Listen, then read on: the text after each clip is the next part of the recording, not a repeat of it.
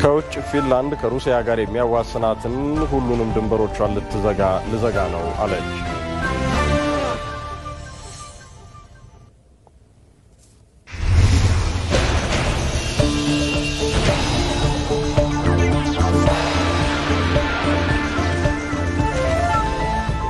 ሰላም የተከበራችሁ ተመልካቾቻችን ከኢትዮጵያ ህዳር 19 2016 ዓ ም የእኩለ ቀን ዜናዎችን እንሆ ብለናል። ብሩክ ተስፋዬ ነኝ።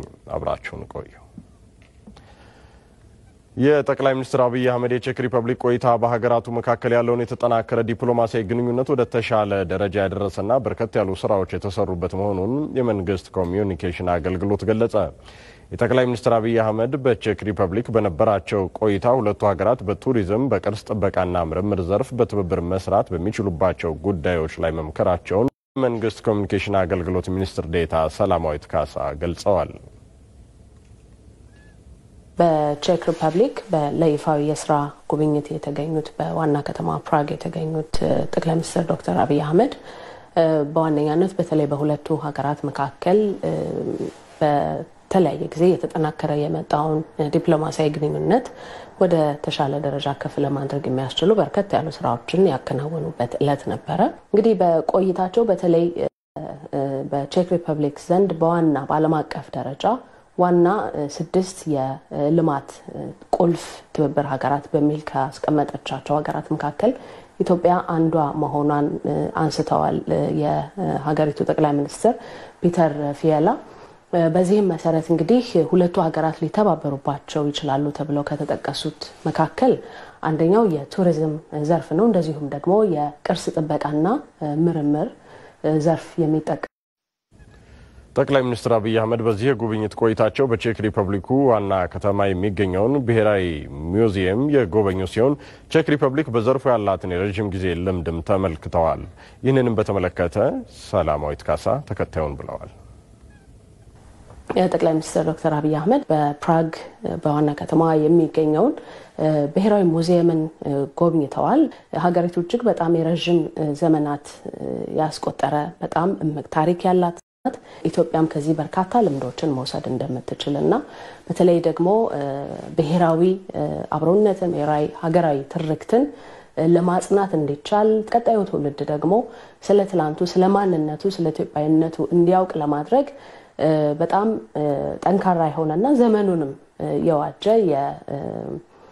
ሙዚየም ሊኖር እንደሚገባ በስፋት አንስተዋል። በዚህ ደግሞ የቼክ ሪፐብሊክ ልምድ ያላት በመሆኑ ያንን ልምድ ለኢትዮጵያ ለማካፈል ትችል፣ እንደዚሁም ደግሞ ብሔራዊ ሙዚየም ግንባታም እንድታከናውን ጥሪያቸውን አቅርበዋል።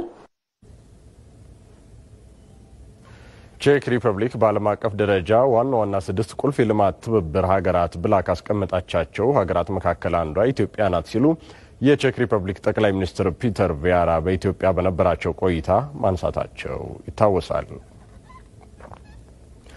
ማህበራዊ ችግሮችን በራስ አቅም ለማቃለል የወጣቶች በጎ ፍቃድ ተሳትፎን ማጠናከር እንደሚገባ ርዕሰ መስተዳደር ደስታ ሌዳሞ ገለጹ። በክልሉ በክረምት ወጣቶች በጎ ፍቃድ ለአቅመ ደካሞች አዲስ የተገነቡ እና እድሳት የተደረገላቸው 1200 ቤቶች ተመርቀዋል። በ2015/16 የክረምት በጎ ፍቃድ መርሃ ግብር የላቀ አስተዋጽኦ ላበረከቱ አካላት እውቅና የመስጠት ስነ ስርዓትም አለታ ወንዶ ከተማ ተካሂዷል። ሚካኤል ገዙ ዝርዝር አለው። በክረምት ወጣቶች በጎ ፍቃድ መርሃ ግብር በወጣቶችና በየደረጃው በሚገኙ የአስተዳደር አካላት ትብብር ለአቅመ ደካሞች የተደረገላቸው ቤቶች በክልሉ ርዕሰ መስተዳደር ተጎብኝተዋል። በክልሉ በ2015/16 ክረምት ወራት በሁሉም ዞኖች 1200 ቤቶችን በአዲስ መልክ አፍርሶ የመገንባትና የእድሳት ስራ ተከናውኗል። በመርሃ ግብሩ ቤታቸው የታደሰላቸውና እንደ አዲስ የተገነባላቸው አቅመ ደካሞች ስራው በክረምት ዝናብና በበጋ ፀሐይ ያጋጥማቸው ከነበረ ችግር የሚያቃልልላቸው እንደሚሆን ተናግረዋል። እየዘነበብኝ በእውነት እያለቀስኩ አይ ይህ ከተማ አስተዳደር ቴት አምጥቶ አሁን እርጋለም አለ ቦታ ቢጠይኛል። ፊት ትንሽ ነው የሰሩልኝ እነሱ መዘጋጃ። አሁን ከየት አምጥቶ ይሄንን ጠግኑልኛል ብዬ ፈሪቼው ነበረ። ከባድ ውለታ ነው የዋላችሁልኝ። እልልልልልልል እግዚአብሔር አቆያችሁ፣ እግዚአብሔር አቆያችሁ። ሲዳማ ኩፉ አይንካት። በታመመንበት ምክንያት ተነስቶ ቤት ወደቀ። አሁን ደግሞ የክልላዊ መንግስት ቤትን ሰርቶ አስተካክሏል። ጌታ ይባርካችሁ። አሁንም ሰላም ያርጋችሁ። ስትገቡ ስትወጡ ለኔ ያወጣችሁበት ብላችሁ ጌታ ያምላችሁ። በበጎ ፍቃድ መርሃ ግብሩ የላቀ አስተዋጽኦ ላበረከቱ አካላት እውቅና የመስጠት ስነስርዓትም በአለታ ወንዶ ከተማ ተካሂዷል። የክልሉ ሴቶች ወጣቶችና ማህበራዊ ጉዳይ ቢሮ ኃላፊ ወይዘሮ መቤት ኢሳያስ በርካታ ቁጥር ያላቸው የማህበረሰብ ክፍሎችን ተጠቃሚ ያደረጉ ስራዎች መከናወናቸውን አመልክተዋል። በበጎ ፍቃድ ዘመቻ ሰው ተኮር የልማት ስራዎችን እናከናውናለን። በዚህም በየዓመቱ የወጣቶች ተሳትፎ እየጨመረ መጥቷል። አቅመ ደካማዎችንና አረጋውያንን ተጠቃሚ ያደረጉ ስራዎች ተከናውነዋል። በበጎ ፍቃድ ዘመቻ ሰው ተኮር የልማት ስራዎችን እናከናውናለን። በዚህም በየዓመቱ የወጣቶች ተሳትፎ እየጨመረ መጥቷል።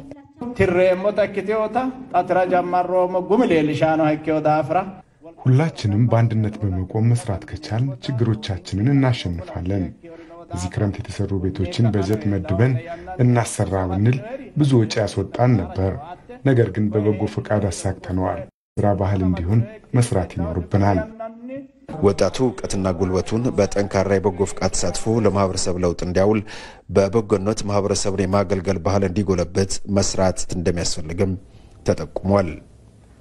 በጅግጅጋ ከተማ በሚገኘው ሼክ አብዱስ ሰላም የሁለተኛ ደረጃ ትምህርት ቤት የሚማሩ ተማሪዎች የመማሪያ መጽሐፍትን በበቂ ሁኔታ ማግኘት ባለመቻላቸው በትምህርት ዝግጅታቸው ላይ ችግር እየፈጠረባቸው እንደሚገኝ ተናገሩ።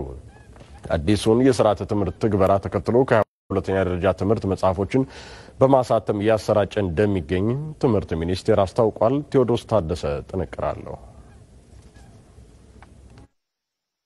በኢትዮጵያ ከቅርብ ጊዜያት ወዲህ የትምህርት ጥራት ችግርን ለመቅረፍ የተለያዩ የትምህርት ስርዓት የለውጥ መርሃ ግብሮች ተግባራዊ መደረግ ጀምረዋል። ከዚህ ውስጥ አዲሱን ስርዓተ ትምህርት ሙሉ ለሙሉ ወደ ትግበራ ማስገባት ተጠቃሹ ሲሆን የትምህርት ሚኒስቴር አዳዲስ መጽሐፍትን በውጭ ሀገራት ጭምር በማሳተም ለክልሎችና ከተማ አስተዳደሮች በማሰራጨት ላይ ይገኛል። ምንም እንኳን ፎቹን ለክልሎችና ከተማ አስተዳደሮች ማሰራጨት ቢቻልም የመጽሐፉን ህትመትና ስርጭት በሚፈለገው ደረጃ ማከናወን አለመቻሉ በመማር ማስተማር ሂደቱ ላይ አሉታዊ ተጽዕኖ እያሳደረ ይገኛል። በጅጅጋ ከተማ በሚገኘው ሼክ አብዱሰላም ሁለተኛ ደረጃ ትምህርት ቤት የሚማሩ ተማሪዎችም መጽሐፍ ባለማግኘታቸው መቸገራቸውን ነው የሚገልጹት።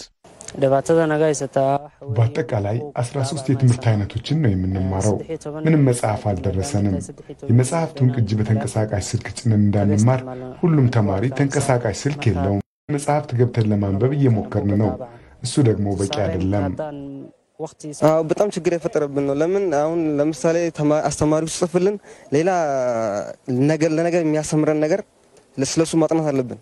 ዝግጁ ለነገም እንደምንማር ዝግጁ መሆን አለብን። class work ምናምን የ homework assignment ምናምን ሲሰጠን እዛ መጽሐፍ መፈለግ አለብን። ለዛ ነው መጽሐፍ በጣም ያስፈልገን። መጽሐፍ የመማር ማስተማር ሂደት ዋነኛ ግብዓት መሆኑን የሚያነሱት የትምህርት ቤቱ መምህራንም ቢሆኑ በተንቀሳቃሽ ስልክ ቅጂ ለማስተማር መገደዳቸውን ተናግረዋል። የትምህርት ጥራትን ለማረጋገጥ መንግስት እያከናወናቸው የሚገኙ ተግባራት አበረታች ቢሆኑም የመጽሐፍ ስርጭት ላይ የሚስተዋሉ ክፍተቶችን መቅረፍ እንደሚገባም ነው መምህራኑ የሚያነሱት። የመጽሐፍ አለመኖሩ ሆምወርክ ለመስጠትም አንዳንድ ነገሮችንም ጻፉ ለማለት ብዙ ችግር ይፈጥርብናል። አሁን አንድ መጽሐፍ የለም። እያንዳንዱ በቴክኖሎጂው ላይ ነው ዲፔንድ የሆነው።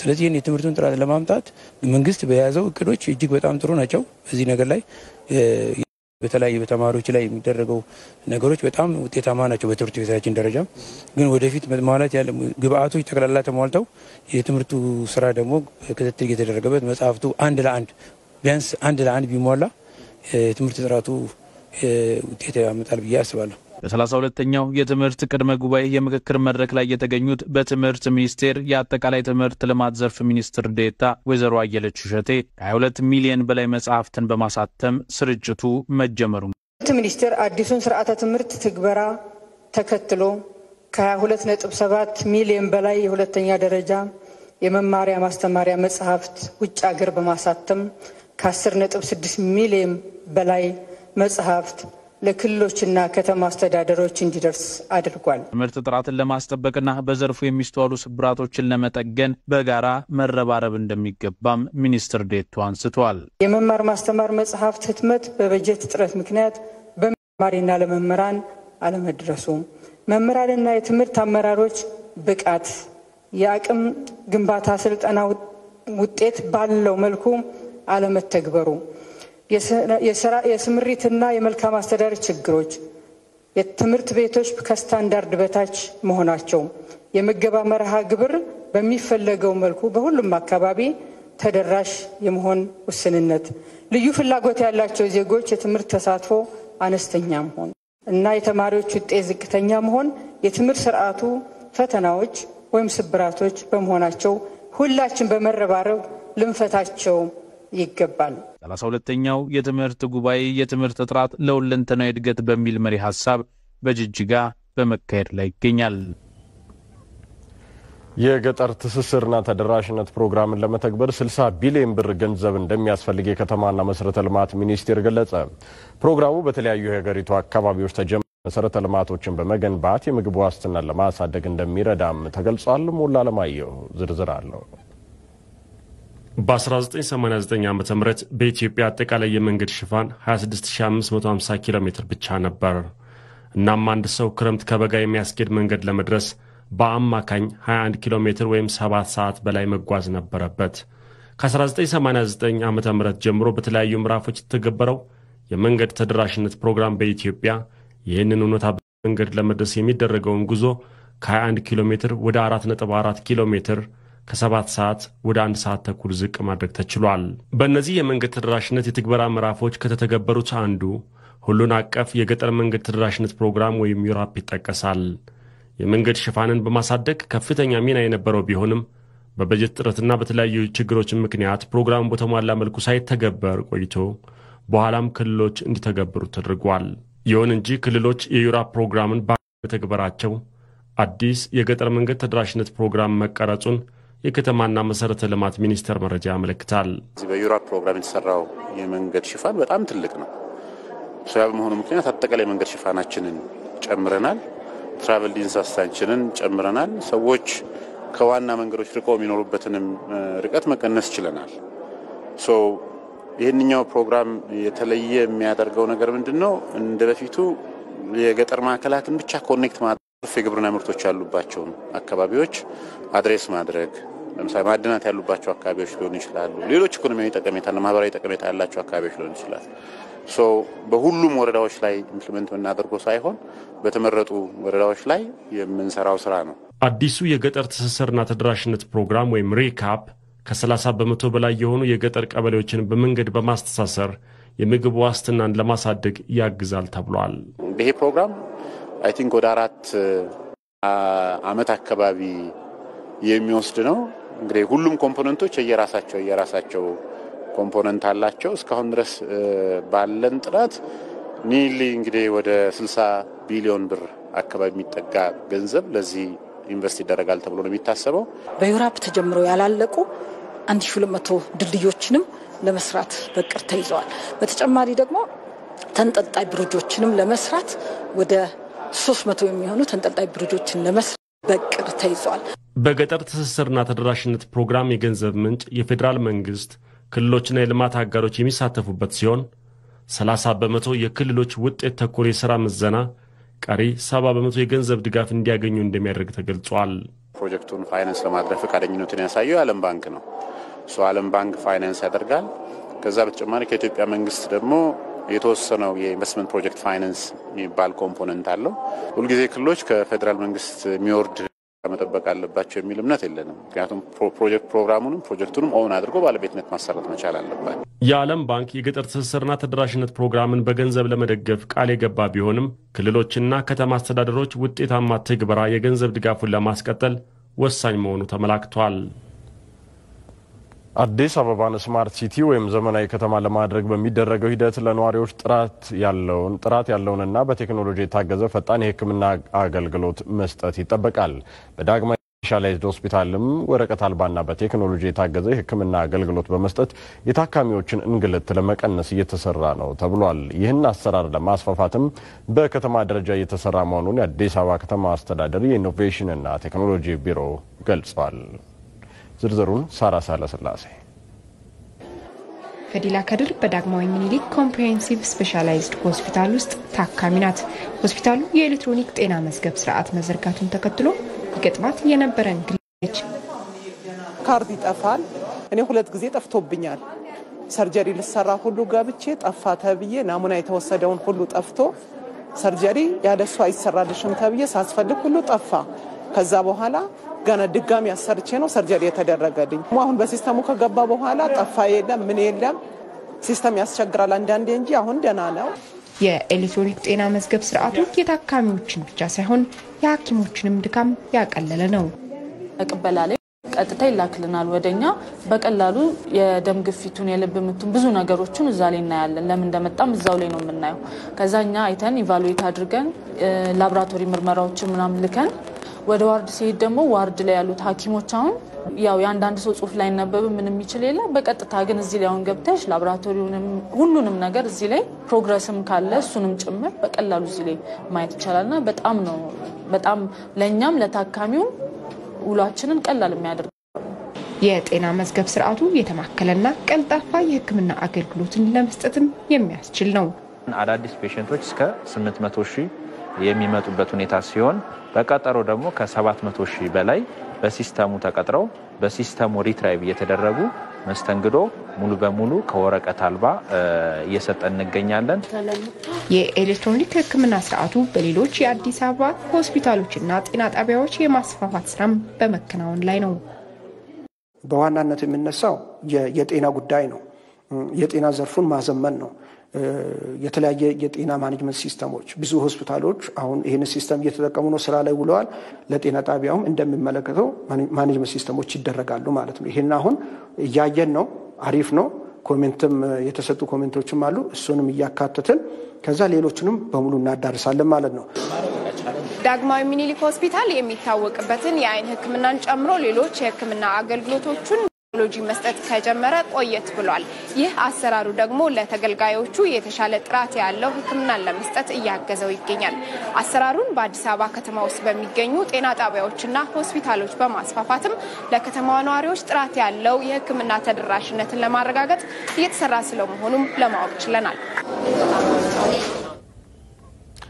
በዚህ ጉዳይ ላይ ተጨማሪ ማብራሪያ የሰጡት ከአዲስ አበባ ኢኖቬሽንና ልማት ቢሮ ዮናስ ደምሰው እየተከናወነ ያለው ኤሌክትሮኒክ ገባ ስርዓቱ አዲስ አበባን በማዘመን ረገድ ትልቅ ሚና ይኖረዋል ብለዋል። በዲጂታል በሆነ ቴክኖሎጂ በመጠቀም የማዘመን ስራዎችን ሰርተን እናጠናቅቃለን ብለን ፕላን አድርገናል። ከዛም ያንን plan achieve ካደረግን በኋላ ደግሞ የሚቀጥለው ስራችን የግል ተቋማትንም ጭምር ወደዚህ system እንዲገቡ ማድረግ ነው። impact ኡና ውጤቱ ያው ታካሚዎች ማህበረሰቡ ቀልጣፋ የሆነ የሕክምና አገልግሎት አንድ ከታካሚ ሕክምና አገልግሎት የሚያገኝበት ጣቢያ ላይ ሲደርስ ከመግባቱ ጀምሮ እያንዳንዱን process የሚሄድበትን የካርድ የሐኪም የሚያይበት record የሚያደርግበት የላቦራቶሪዎቹን ሌሎች ሙሉን እዛ ውስጥ ያሉትን process ኦች ክፍያዎቹን ጨምሮ እስኪወጣ ድረስ ያሉትን ስራዎች በጠቅላላ ዲጂታል ማድረግ ማዘመን ስራ ነው ማለት ነው እየሰራን ያለ ነው። የምዝገባ ስርዓቱ ቀልጣፋ እንዳይሆን ልማቶች ችግር እያጋጠሙ መሆኑን የገለጹት አቶ ዮናስ ለዚህ መፍትሄ የመረጃ ቋት እየተገነባ ነው ብለዋል። የከተማ መስተዳደሩ የራሱ የሆነ የ data center እያስገነባ ይገኛል። ይሄ በጣም ብዙ ችግሮችን የመሰረተ ልማት ችግሮችን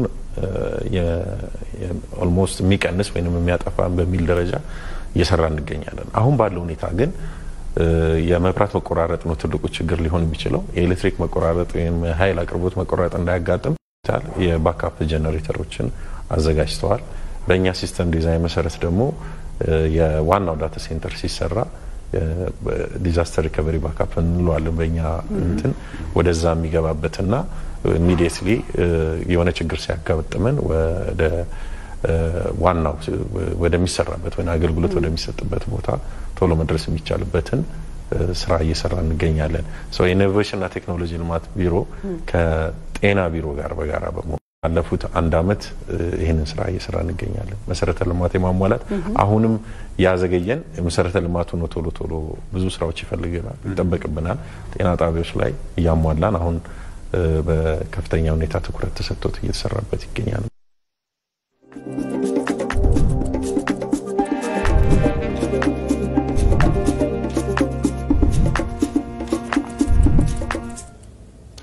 ሳምንቱን ወደኋላ መለስ ብለን ወደምናስቃኝበት ታሪክ ጥንቅራችን እናልፋለን። ሮዛ ፓርክስ ለነጮች ብቻ በተፈቀደ የፊት ለፊት መቀመጫ ወንበር ላይ በመቀመጧ ለእስር የተዳረገችው እንደ አውሮፓውያኑ የዘመን ቀመር በ1955 በዚህ ሳምንት ነበር። የሮዛ ፓርክስ መታሰርን ተከትሎ ተቃውሞ ያስከተለው የአንድ ቀን አመፅ በሞንቶጎሞሪ ታሪክ ታይቶ የማይታወቅ የመሰረት ድንጋይ ጥሎ አልፏል። ቶክሮች አሰናድቶታል። In 1944, 11 years before her fateful decision on a Montgomery bus, Rosa a vicious crime. ሮዛ ፓርክስ ትባላለች። የ43 ዓመት ዕድሜ ያላት ጥቁር አሜሪካዊት ናት። ዕለተ ሐሙስ ታህሳስ 1 ቀን 1955 ነበር። ሮዛ ረዳት ልብስ ሰፊ ሆና ትሰራበት ከነበረው ሱቅ ውላ ስትመለስ በጣም ድክም ብሏታል። የሞንቶጎመሪ አላባማ የከተማ ሕዝብ ማመላለሻ አውቶቡስ ሲመጣ እንደ ማንኛውንም መንገደኛ ተሳፈረች። የተቀመጠችው ግን ለነጮች ብቻ በተፈቀደ የፊት ለፊት መቀመጫ ወንበር ላይ ነበር። በፊት መቀመጫዎቹ ወዲያውኑ ሞሉ። አንድ ነጭ ቆሞ ያያታል። ሹፌሩ ሲመለከት አራት ጥቁር ተሳፋሪዎች ለነጮች ብቻ ተብሎ በተካለለው መቀመጫ ወንበር ላይ ተቀምጧል። ለራሳችሁ ደህንነት ስትሉ መቀመጫዎቹን ልቀቁልኝ አለ አሽከርካሪው። አንድ ወንድና ሁለት ሴቶች ሲነሱ ሮዛ ፓርክ ወንበሯን አልለቀቀችም።